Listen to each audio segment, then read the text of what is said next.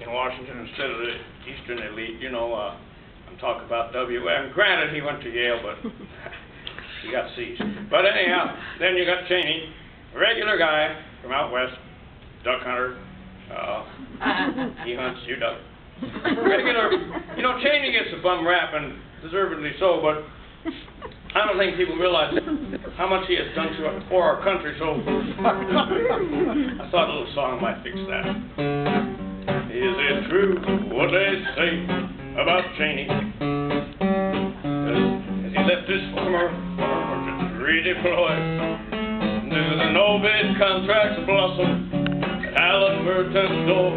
Does his company rebuild countries he's conveniently destroyed? Is it true what they say about old Burma?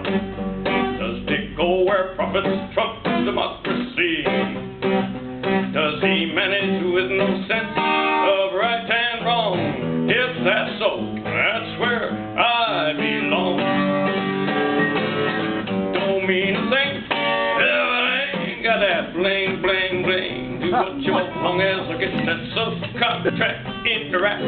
Don't mean a thing, if I ain't got that bling, bling, bling. Do what you want, long as I get your oil. Or crude.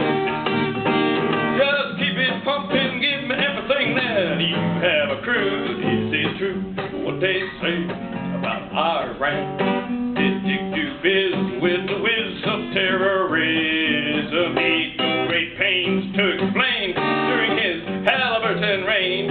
We just go where the business is. Makes no difference if the war fought by minorities. He'd have been there only he had other priorities.